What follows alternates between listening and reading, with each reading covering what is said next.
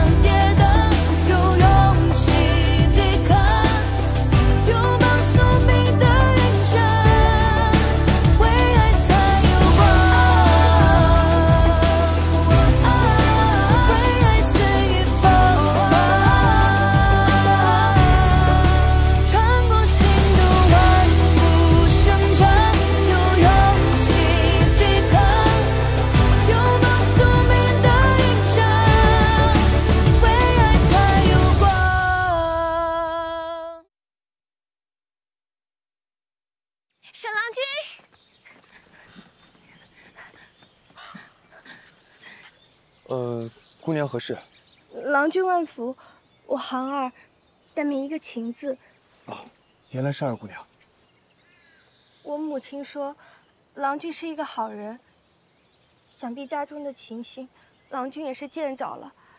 这病的病，愁的愁，真的如火坑里一般。姑娘莫要灰心，总有柳暗花明。姑娘，你先起来说话，先先起来，先起来，起来。若能得到郎君的照拂，花姐愿以此身相报。姑娘，你先听我说。姑娘，沈琦不才，实在是难当此人。我与花芷的婚事虽未落定，但在我心中，我与她已有终身之约。无论贫穷或富，我都不会负她。便是做个妾室，花姐也是愿意的。姑娘，姑娘，你是成何体统？臣妾。姑娘，你是成何体统啊？姑娘，姑娘，啊，你没事吧？二妹妹沈郎君，你们这是在做什么？花花芷，你回来了。芷姐姐，这个地上全是沙子，滑的要命，你可千万小心走些。沈郎君来家里探望，母亲叫我出来送一送客，没料反倒失了礼数。大姑娘，还是你替我送送沈郎君吧。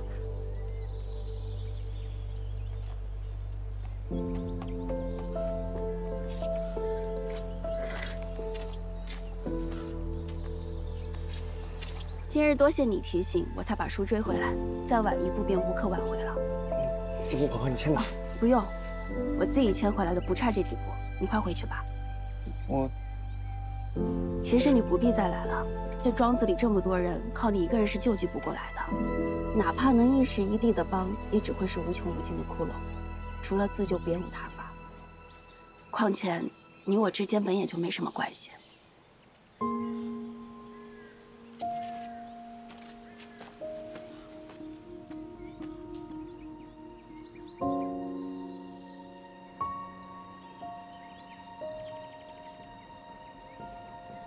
平时蔫不吭声，冷不丁窜出去，哼，比兔子还快啊！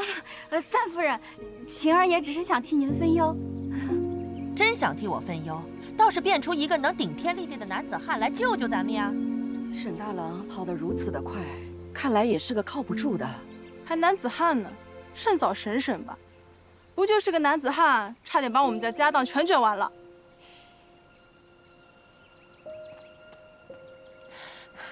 大嫂，你们家的纸丫头真是天上没有地上难寻的。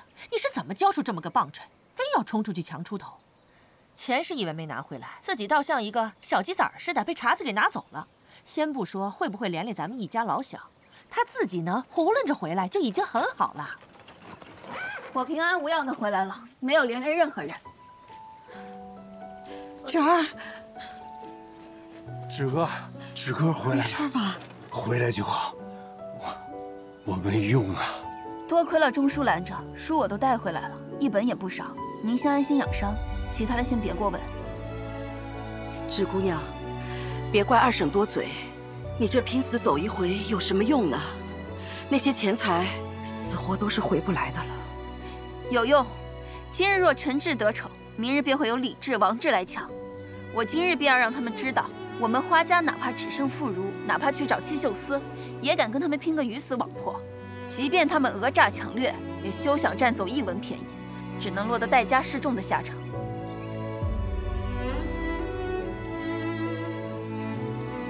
从今日起，便不会有人敢学陈志那样抢掠花家。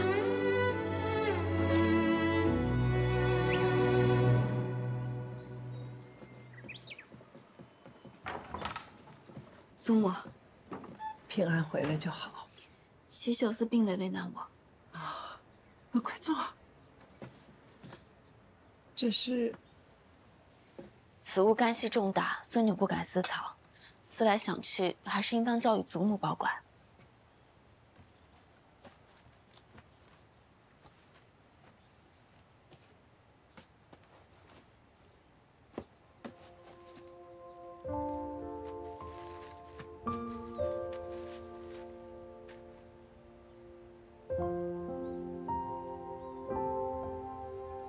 这是那天你藏下来的。哎呀，你说这纸丫头平时也不问东西南北，不是你的性情啊。祖父一生笔耕不辍，正身立言，我救不了祖父，只能救下这些纸。这些可都是不朽之作，足以传世。你这可是大功德。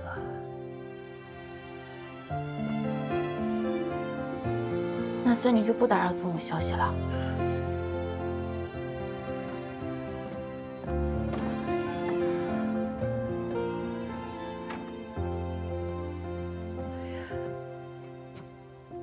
你觉得这纸丫头怎么样？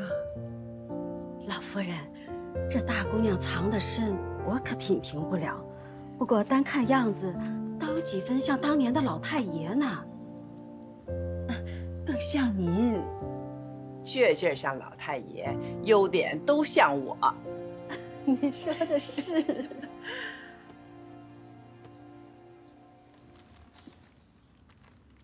芍药，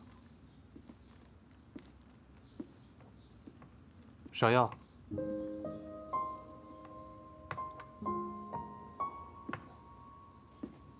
我给你买了好多好玩的，你看看。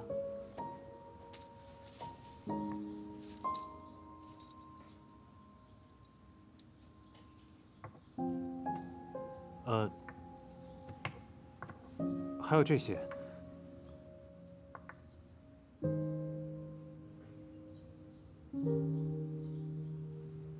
芍药，或者你有什么喜欢的、想要的，我都可以买给你。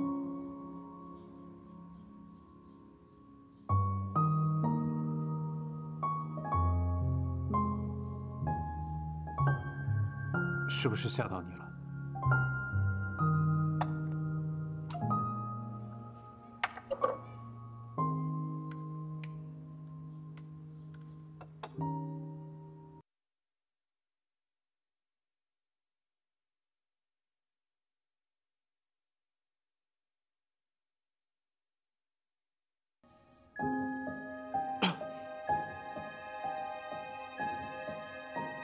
你做的药，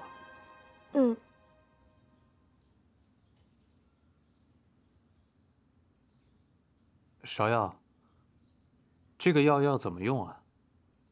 你教教我好吗？嗯。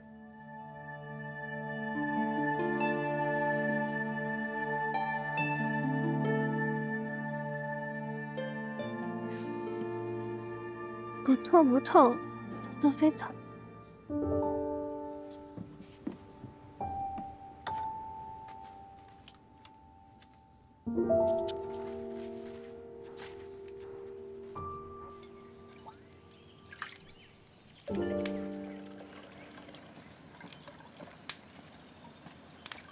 夫人怎么样？老夫人这一遭连惊带气，恐怕是伤了身子，今日总咳得厉害。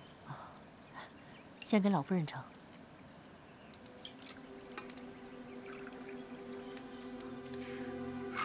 李哥，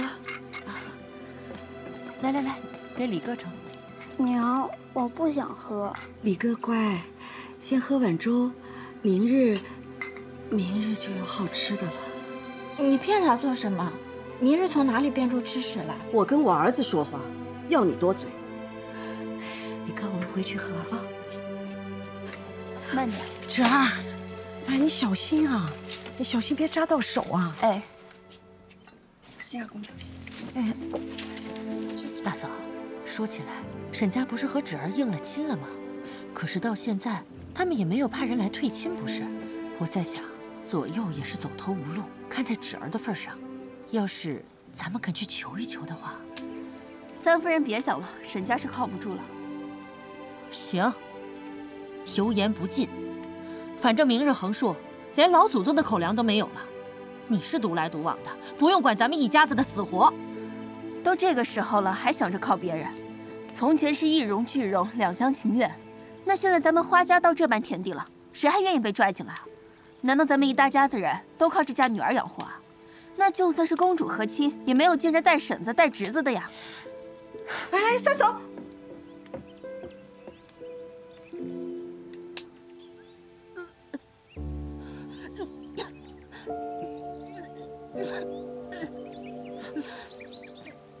这是怎么了？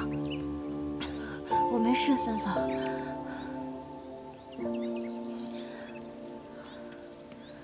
四弟妹，事到如今没得说，他们花家长女脸面金贵的紧，如今只有我们两个儿媳妇豁出去了。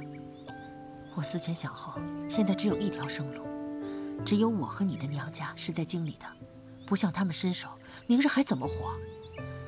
这事情老祖宗定然不会同意，可他老人家现在还躺在床上，连起身的力气都没有了。眼看山穷水尽，恐怕也只好如此了。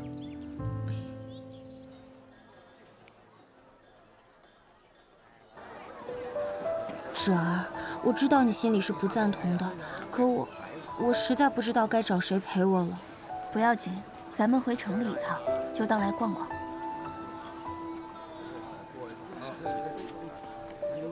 这条回娘家的路，我还是头一回用我自己的腿走呢。从前，我娘最疼的就是我了，她连缠脚都舍不得给我缠紧些，又舍不得让那些嬷嬷们碰我，他就自己一边缠一边哭，哭得比我还响些。还有我爹，他平日里不苟言笑的，我那几个兄弟呀都怕他，只有我可以爬上他的膝盖，拔他的胡子，他都不会生气。我出阁的时候，他们生怕我会受委屈，掏心肝的为我置办嫁妆。那抬香龙的送亲队伍呀，比这一整条街都长。芷儿，你说我该怎么向他们开这个口啊？祖父的事情天下皆知，你不开口，他们也必然知道。那我该要多少钱呀？要少了，我怕他们心里难受。想着我怎么过成了这样。四婶，咱们还是回去吧。为什么呀？我怕你会失望。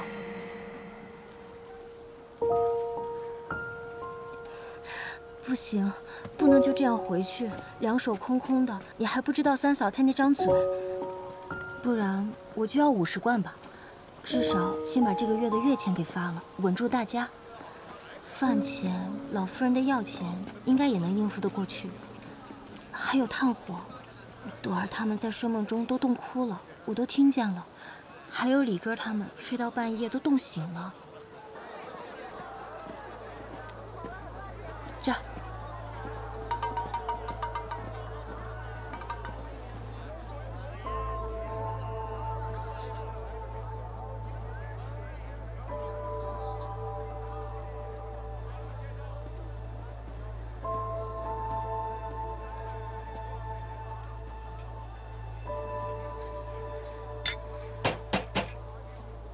父亲，我回来了，玉娘回来了。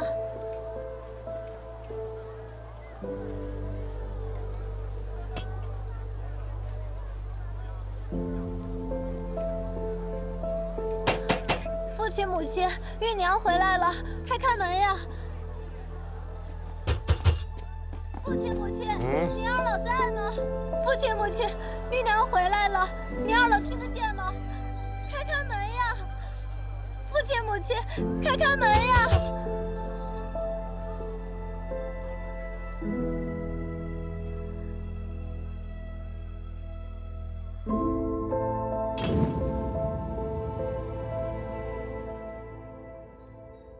玉儿，母亲，玉儿，你。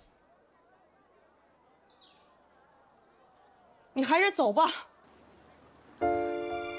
母亲，你说什么？你爹还要上朝为官呢，更何况你那些兄弟们也……玉儿，你暂且先回去吧，待风头过了，我再劝劝你爹，一定会再替你想法子的。谢谢娘。玉儿，你还在吗？您缺什么告诉为娘。娘，娘都给你准备好，一定想办法再过些时日，找人给你送过去。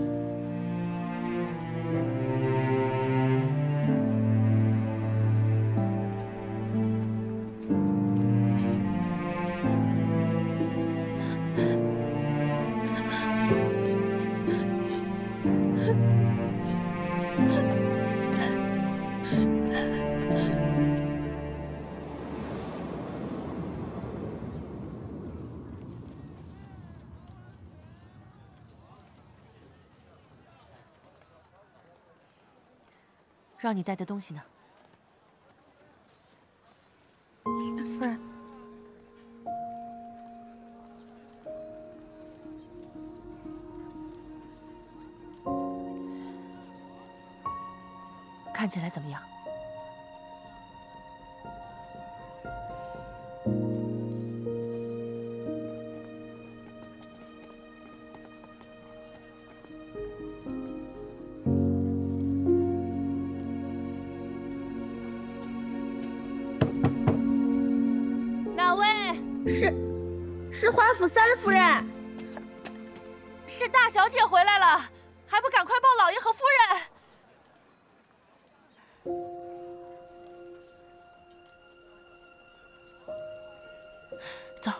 咱们回去。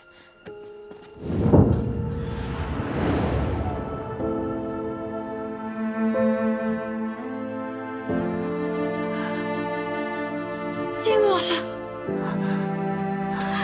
我的静儿，你可回来了！娘亲，爹爹，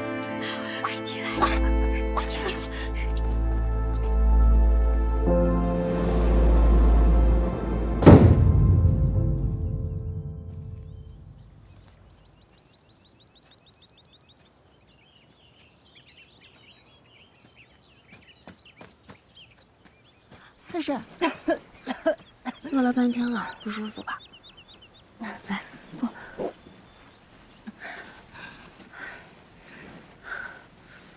我去给你打点水喝。芷儿，别去了。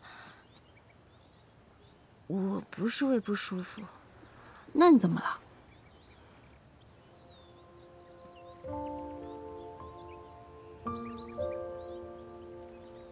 你怎么不早说啊？四叔知道吗？月份尚小呢，何况如今咱家这般田地，叫我如何说得出口？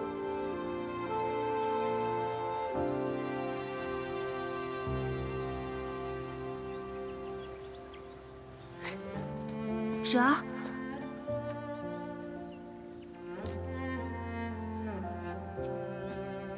我听说怀孕吃酸胃会舒服，你赶紧尝尝。你平日里聪明的很，难道没听过“道旁苦李”的典故？这红果早已过季，若是好吃，哪还能剩给我们？这叫猴渣子，他们的树干长得最快了，乡里人都砍来做柴用，它的果子还能入药呢。快尝尝。你看吧，这这果然是猴才吃的。你试试嘛，说不定有用呢。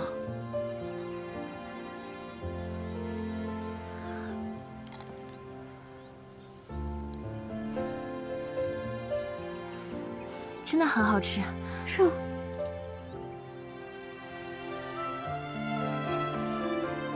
好酸。你快吐出来吧，这红果酸的要命，也只有我有这个口福了。那你多吃点，我一会儿再给你摘。我打你个贼人！叫你们偷我的果子，吃我的果子要短命的，要遭报应的。我一个孤苦婆子，我就靠这个林子活命呢。一担柴五文钱，一筐红果才三文钱。背到城里要两个时辰，你们还来偷你们没良心！对不起，婆婆，我们以为是野林子。婆婆，我我怀孕了，这个给你。家里没吃的，胃口难受，他才摘来叫我尝尝的。我们这就走。你怀孕了？等等。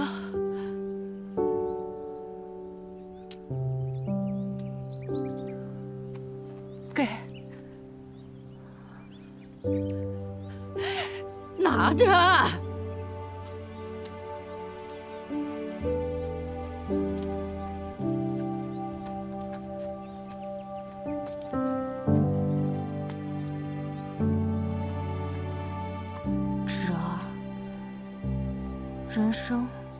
怎么这么苦啊？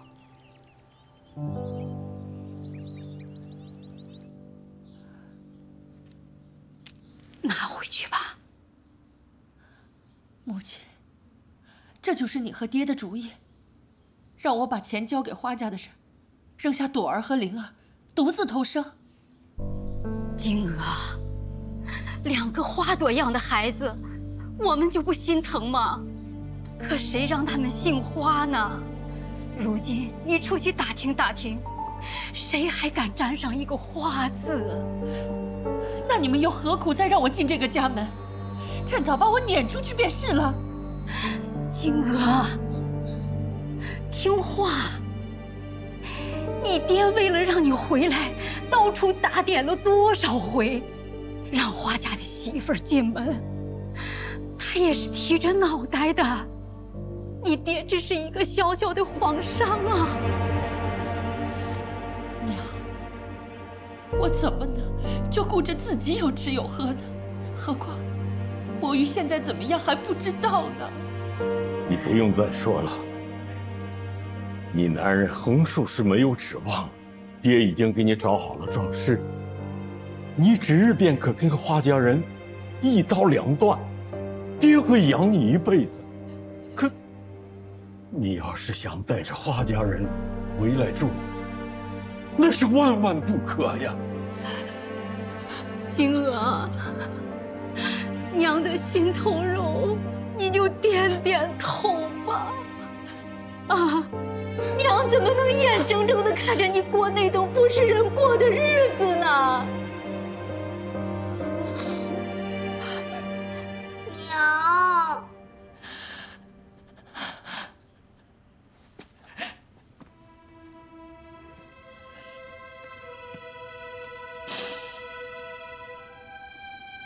你们说的对。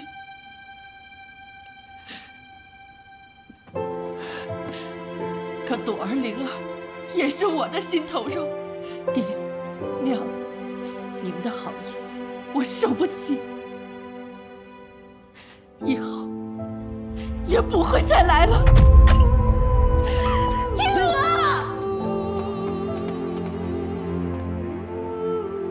小姐，你也别太难过，老爷夫人一向最疼你了，他们也有他们的难处。是。他们有难处，人人都有难处，只有我是最容易的，跪地求饶是最容易的。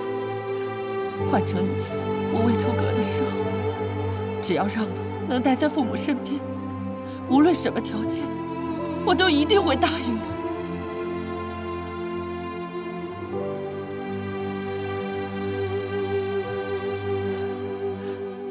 只是现在，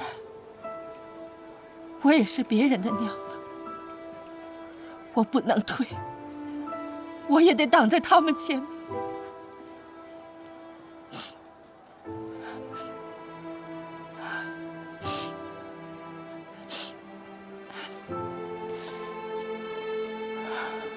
我只是没想到，在他们眼里，我只是盆泼出去的水。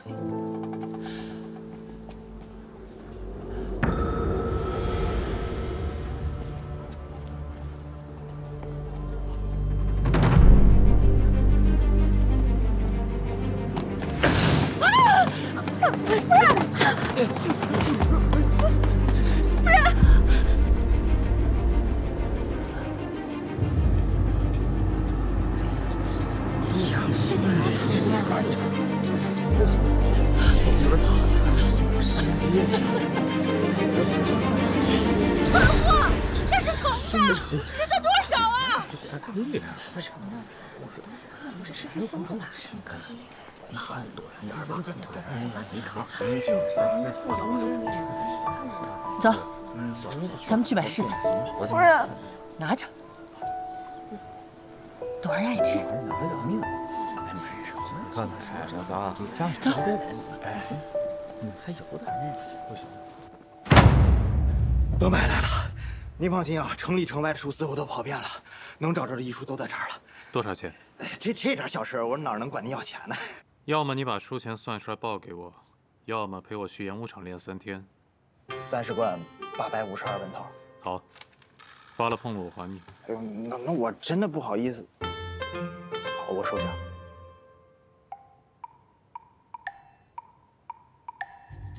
哎，头儿，你脸上的疤好像变淡了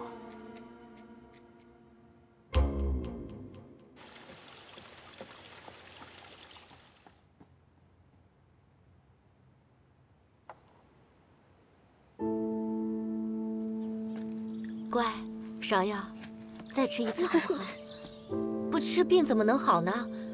哎，你瞧，吃了药，咱们就吃蜜饯梅子。不不不吃，不不吃了病就好了啊！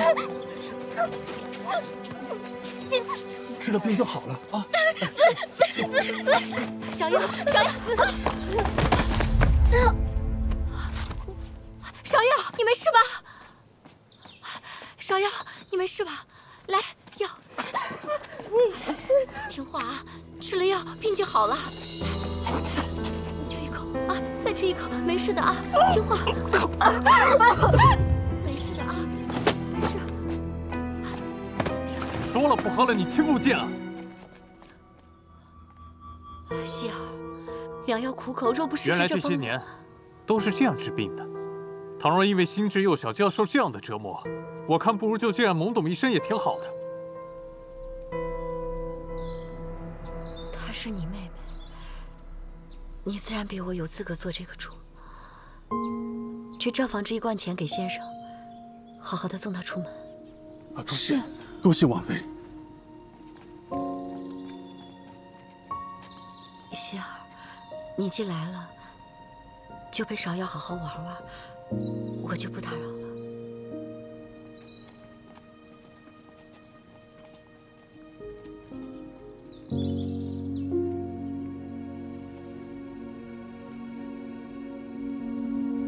地上凉，回屋里待着吧。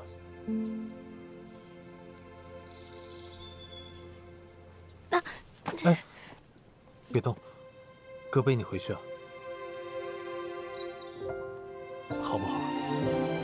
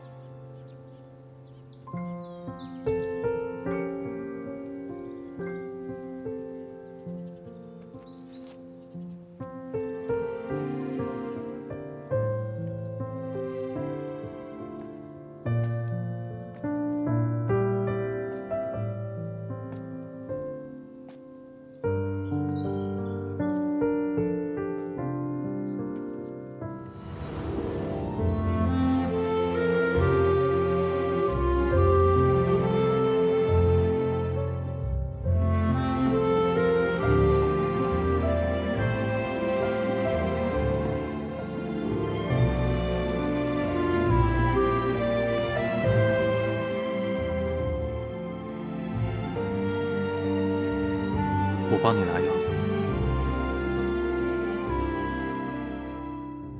抓紧点，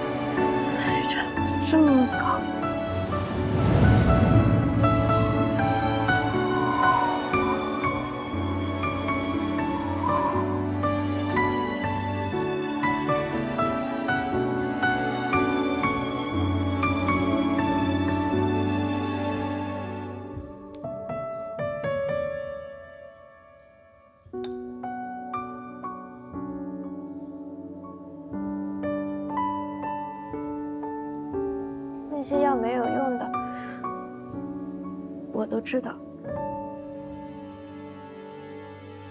你懂医术，也知道自己的病，是不是？不是，不不不是的，哥哥，我不是病了，我是我是怕，你怕什么？我怕我长大了就不记得阿娘了，记得阿娘，这世上就没有人记得阿娘。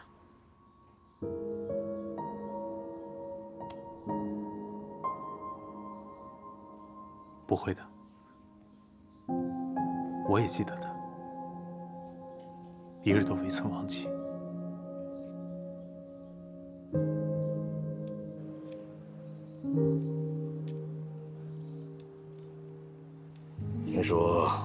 你把新请的郎中给赶跑了，良药苦口啊！这是人活在世上必须的修行，没别的办法。他苦了十年，难道还要再苦一辈子吗？不成啊，就让他这么浑浑噩噩、疯疯癫癫的过一辈子吧。芍药他没疯，你说我这个当爹的，难道能害自己的女儿？你又何曾把她当成过自己的女儿？就算是养只鹰、养条狗，也会常带在身边出去见你。你只当她是灵王府的耻辱，是个见不得光的累赘。那你呢？你什么时候就把我当成过你爹？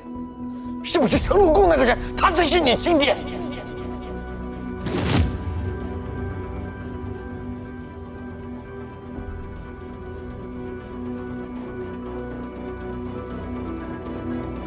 芍药的病，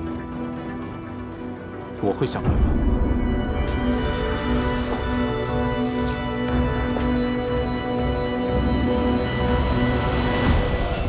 我亲耳听见的，周王妃院子里夜夜都有人哭，何止啊！哎，你们可别说出去啊！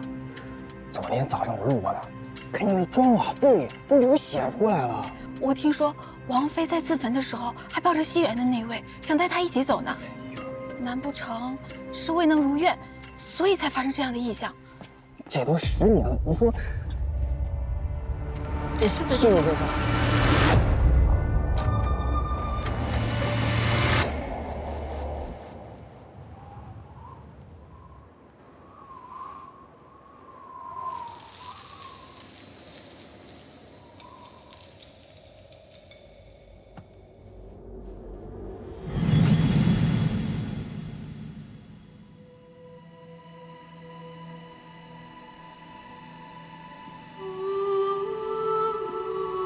娘，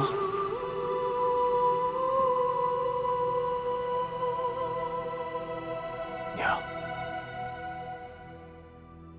你可有话要同我讲？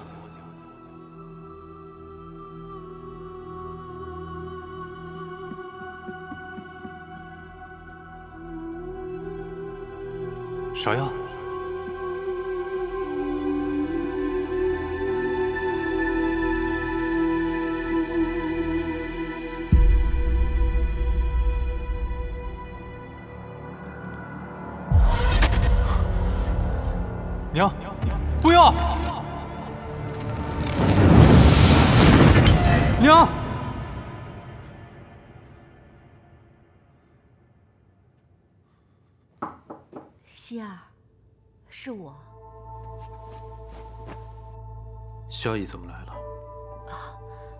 我是来看看你的，刚好听到你喊娘。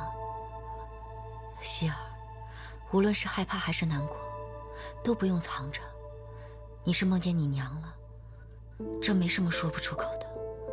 你是还在念着她，心中有执念。我如何心无所知？这么多年过去了，我还经常会想起她。倘若当时我能再与他亲近一些，倘若那天晚上我在他身边，或许这一切就不会发生了。就连他自焚的时候也只带了芍药一起，连句话都没留给我。或许他就当没我这个儿子吧。怎么会呢？我虽然没有子女，但是我也知道十月怀胎、分娩养育的痛，锥心刻骨。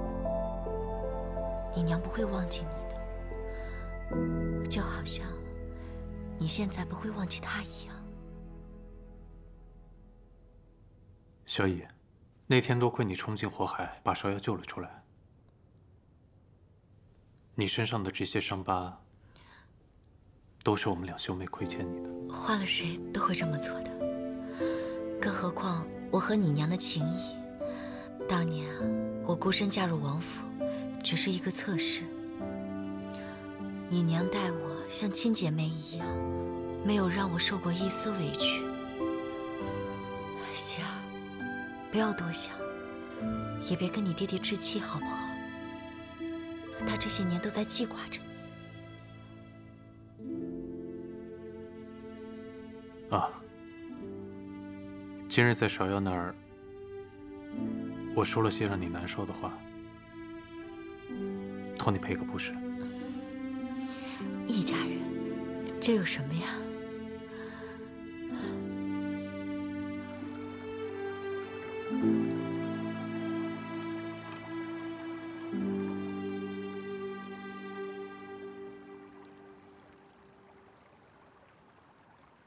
芷儿，你在看什么呀？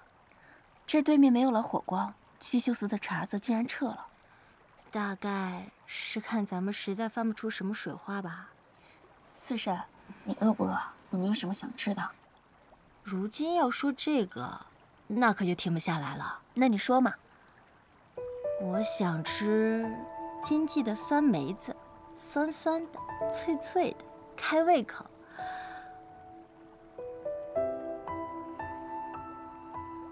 我想睡了，梦里说不定能尝尝。那咱们回去睡吧。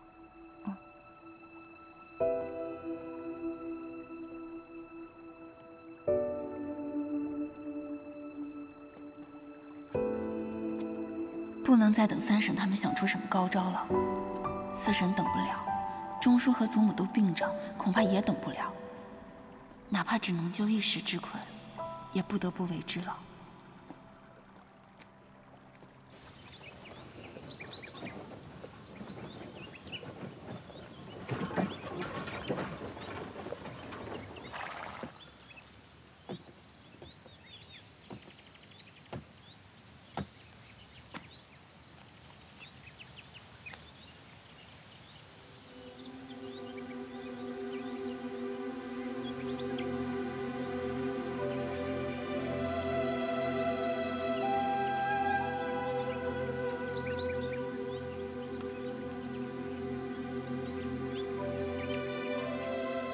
沈老夫人，劳您惦记了。老夫人这几日好多了。老夫人在哪儿？你去看看。这边。你是朱氏吧？是沈老夫人。你家芷姑娘可在？我怎么没有见到她？哦，芷儿，芷儿她一早就出去了。哎呦，真不巧。老姐姐，我来看看你。这些日子，你受罪了。家里这个样子，让你见笑了。沈公和你近来可好？他为了府上的事情，也是日夜紧忧，没睡过一日安稳觉，连累你们损伤心神，真是过意不去。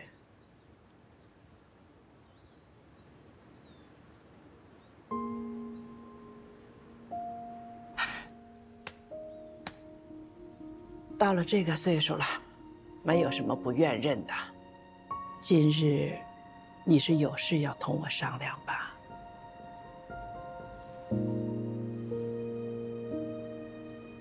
你我两家情非泛泛，都是造化闹人，到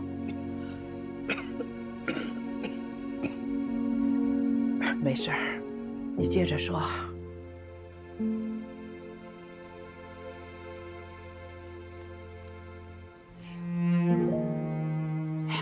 有什么事啊？你我姐妹好久没见了，我就不能来看看你？今时今日，你这番话让我铭记在心。